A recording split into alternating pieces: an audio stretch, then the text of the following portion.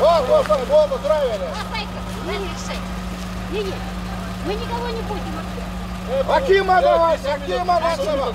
Даешь Акима или перекрываем дорогу. Это еще один народный метод докричаться до столичных властей. Жители микрорайона на окраине Астаны пока требуют решить одну из двух классических евразийских бед – отремонтировать дороги. Все лето напролет здесь потапливает дома, а малышня не знает летней обуви. Нет проезда, нет проезда. Когда отец приедет, потом мы уйдем.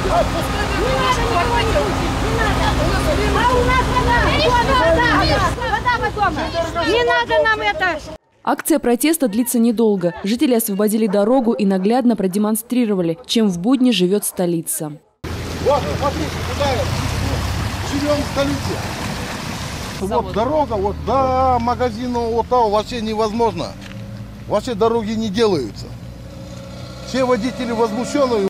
Нелли Теренкова давно никому не верит и не жалуется. Говорит, бесполезно. Приходя с работы, она снимает обувь на улице. Вместо уютных домашних тапочек у нее целинные резиновые сапоги. Вот до кровати тоже. Никак не встать. Только по досточке ходим. Ничего не сделаешь уж тут. Соседи женщины живут не лучше. Тоже борются с переизбытком водных ресурсов. По их словам, ситуация особенно ухудшилась в этом году. Власти Астаны начали строительство ТЭЦ. Грузовики окончательно добили дороги. Тут и яма была почти с меня роста. День и Ее ночь, чуть-чуть насос подсыпали. включенный. Приехал Заходит Акимат, вода. мы его попросили. Как-то выходим, скорая приехал к нашим кому-то из улицы. Полностью утонула скорая. Одни окна, вы не поверите. Только после этого приехал Акимат и подсыпал. Но при этом по полметра еще как минимум есть глубина.